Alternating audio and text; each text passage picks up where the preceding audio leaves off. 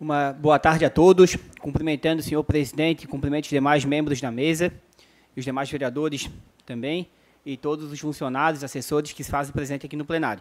Cumprimento especial também aos munícipes que nos assistem pela transmissão. O meu muito boa tarde.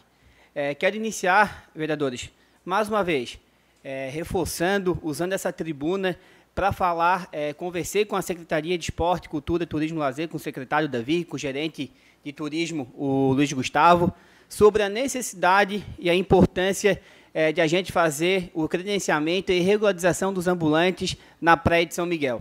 Por que, que eu falo e volto nessa tribuna para falar desse assunto tão importante? Alguns moradores, após a minha, a minha falação na última sessão, empresários da região me procuraram porque justamente tudo aquilo que a gente imagina é, para potencializar o nosso turismo, a nossa cultura, a nossa economia do Balneário São Miguel perpassa com certeza para a gente é, criar critérios de credenciamento para os ambulantes. É, não sei se os vereadores sabem, os, ambulantes que ali ficam na temporada, obviamente, o objetivo de ganhar seu dinheiro, levar o seu pão de cada dia para suas famílias, mas o município, é, enquanto responsabilidade fiscal, a gente tem sim a obrigação de regularizar, até para que o município também é, arrecade, arrecade a sua parte.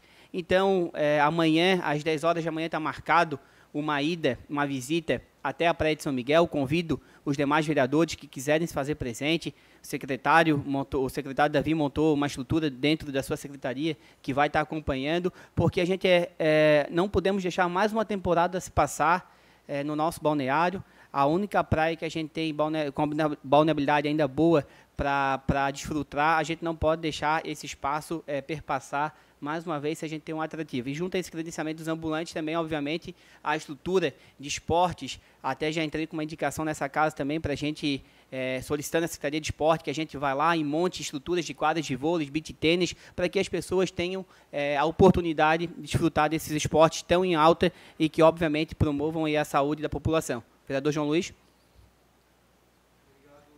Obrigado, vereador Lucas. Quero lhe parabenizar por trazer esse assunto.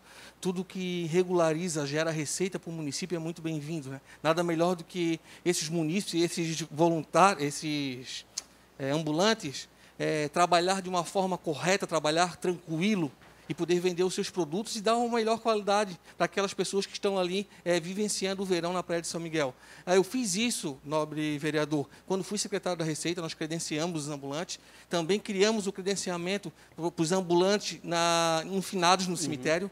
É, a lei já está pronta, é por decreto, Tá? É bem simples de fazer, já, já existe esse decreto lá para fazer para o ano né, corrente, não só na Praia de São Miguel, mas também ah, os ambulantes no finados. Então, isso já, já, já existe, mas tem que ser feito, muito bem lembrado pelo nobre vereador, e com certeza, é, quanto mais legalidade se dá ao cidadão, melhor vai ser o atendimento, porque ele vai prestar o melhor serviço com fiscalização. Obrigado e mais uma vez parabéns. Obrigado, vereador. Vereadora, com a palavra. Obrigada, vereador. É, bem lembrado, né? É importantíssimo. Esses, essas leis existem, né? Só tem que o executivo tem que realmente colocá-las em prática. São decretos que podem, inclusive, não somente para as praias, mas também para o carnaval, se voltar a existir, para a festa do município, como o vereador João Luiz também falou, para os finados, enfim, para realmente deixar o ambulante, diante de tantas situações que a gente está vendo aí, que estão sacaneando com ambulantes, né, as fiscalizações aí de outros municípios, é claro, para que isso não aconteça no nosso município, que eles trabalhem regularmente e que gerem, obviamente, recursos para o município. Além da, das quadras, né, que a gente é, sempre tem falado aqui também, você sabe o quanto a gente luta por isso também, eu quero aqui até registrar que eu vou refazer, quem sabe com esse governo a gente tem sucesso, refazer o pedido de uma rampa para a pessoa com deficiência poder chegar até o mar, vou fazer, refazer esse pedido. E também refazer o pedido da, dos passeios de escuna. É um projeto muito bacana. Já há alguns anos eu havia sido procurada é, pelo empresário. Ele já colocou no, no, no, praias e no município de Iguaçu não. E é bem interessante para o turismo. Né? Queria até compartilhar isso e, e, e pedir até o apoio, obviamente, porque isso é para o município. E essas quadras também de esporte não somente as quadras, bem como potencializar. O povo está sedento da prática esportiva. Quem sabe tenhamos é, em 34 edições de Jogos de Verão, vereador presidente. Quem sabe a gente tenha o melhor Jogos de Verão com a maior participação da população. Obrigado. Vereador Chimia, com a parte. Parabéns, vereador, pela obrigado pela parte, parabéns por levantar essa situação com o secretário Davi. A praia de São Miguel ali é um vocês podem ter certeza que esse verão vai estar lotada com certeza que esses ambulantes não vão só atender nós, que vamos estar presentes nessa praia, mas vão atender as suas famílias, ganhando a sua renda ali. Parabéns por isso, levantar isso aí, e, e com certeza nós vamos estar lá amanhã. E eu também já, já toco no coração de todos esses, esses vereadores aqui, ó, nós temos que correr com a executiva também, com o nosso prefeito, para fazer o engordamento dessa praia. Lá, vocês sabem que tá, lá tá, nosso, tem muitos moradores que têm casa lá, e a praia está invadindo, a água está derrubando. Todos os municípios estão engordando a praia. Por que, que o Biguaçu não pode engordar a praia, vereadores? É só fazer um projeto. E atrás tem projeto vai ter dinheiro. Isso tu pode ter certeza. Nós temos que engordar a praia de São Miguel. Nós, nós vereadores e o município, juntamente com, com o prefeito. Obrigado pela parte. Obrigado, vereador. Vereador presidente. Obrigado pela parte, vereador Lucas. Apenas para colaborar é, não só sobre os ambulantes, mas também a Praia de São Miguel, aquela ponte que caiu ali entre o Bucaneiros e o Sombreiro. Ontem ainda passei por lá. É, as crianças passam dentro d'água, mas, mas os idosos que almoçam, às vezes, querem dar uma caminhada de uma praia para outra, de um lado para o outro. É, eu acho que até o secretário Marcelo estava falando com ele agora há pouco aqui, no, ele está nos acompanhando na sessão. É, que priorize isso. Né? Eu já cobrei do, do prefeito Salmir também. O nosso trapista está precisando de uma reforma urgente, se não me engano, foi o vereador João Luiz que o vereador Salete, que tocou no assunto também. Aquele estacionamento, vereador Salete, ali onde eu tenho a minha casa, antes do viaduto ali, que todo ano espero que esse ano a Polícia Rodoviária não comece a multar. É, a partir de novembro eles começam a canetear todo mundo que estaciona ali. Acho que foi o Vossa Excelência que deu a ideia de fazer aquele estacionamento Baia. tipo Baia, né? É uma saída, ajuda, vai ajudar sim. Mas espero não ter, porque todo ano, ó, eu e o ex-prefeito Ramon, e até mesmo, acho que o Wilson foi algumas vezes também, nós, todo ano, nessa época, nós tínhamos que ir lá na Polícia Rodoviária Federal, lá no, no centro, para pedir para ele usar o bom senso, não multar, porque às vezes, pô, vai aquele morador humilde que vem, que sai lá do interior para tomar um banho de mar com a sua família, chega aí, quando sai do mar, está é, tá o seu carro multado ali naquela, naquele estacionamento que não tem onde botar o carro, né? E várias outras coisas, não é só os ambulantes, não. A areia, concordo com o Chimia, tem que fazer projetos, é uma coisa audaciosa, mas se não der o pontapé inicial, nunca vai sair, concordo? É, a maré subiu assustadoramente ali em, em São Miguel, né? É, ali onde, onde eu tenho, a minha família tem casa ali, ainda tem uma faixa de areia boa, mas lá na croa, lá para cima, lá, mesmo com a maré baixa, ela está batendo nos muros das casas. Eu acho que é uma coisa da natureza, mas dificilmente aquela crua que tinha ali onde era feito jogos de verão, vereadora, tá, quase praticamente não existe mais, né? Então, acho que tem que se pensar nisso tudo. Obrigado, vereador. É, mais uma vez, obrigado a todos os vereadores que contribuíram. Obviamente, a gente sabe que a dificuldade existe, mas a gente não pode deixar é, de pensar e, quem sabe, pensar principalmente agora, como já está em cima, no básico para que aconteça. Quem sabe a instalação das quadras, o credenciamento dos ambulantes, do, do, para fomentar o comércio e, principalmente, a gente sabe que quem frequenta a Praia de São Miguel, geralmente, é o público de Biguaçu, é o cidadão de Biguaçu, que muitas vezes não tem condições de uma praia um pouco mais longe e também não vai ter é, condições financeiras, consequentemente, para se alimentar num restaurante de praia e quem sabe com esse credenciamento dessas barracas ali, ele tenha condições, obviamente, de buscar ali a alimentação para a sua família.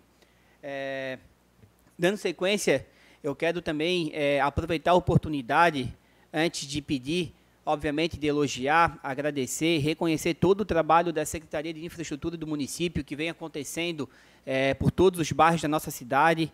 Porém, enquanto vereador, direito que nos assiste, a gente é obrigado a vir aqui reivindicar, cobrar, até porque a gente sabe que, infelizmente, esse ano a gente teve diversas é, dificuldades, a chuva, a cada três meses chovendo e acabando é, atrasando o trabalho, principalmente da Secretaria de Infraestrutura, principalmente para o interior da cidade e para o norte da cidade, onde as ruas, na sua maioria, ainda não são pavimentadas. Então, Venho aqui pedir ao secretário Marcelo, ao prefeito Salmi, obviamente, eu sei que eles vêm dando atenção para a nossa região, vêm atendendo o pedido, mas que a gente busque juntos alternativas para é, acelerar o serviço da infraestrutura.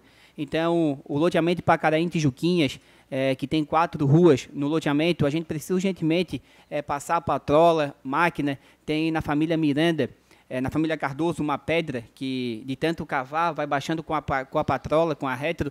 É, ali o baixar não é mais a, a, o, o, recomendado, ali a gente tem que quebrar aquela pedra, ver outra alternativa e acaba que no morro para fazer, para altear a estrada, vereador Douglas, que conhece, o vereador Sandro dessa região, é, sabe que é difícil, mas aí fica o meu pedido a toda a Secretaria de Infraestrutura que mobilize e que conte com essa Câmara para que a gente possa é, traçar metas para que a gente dê conta, principalmente agora no verão, onde o mato está crescendo, com, né, com mais frequência, para que a gente possa resolver esse serviço à nossa, à nossa sociedade.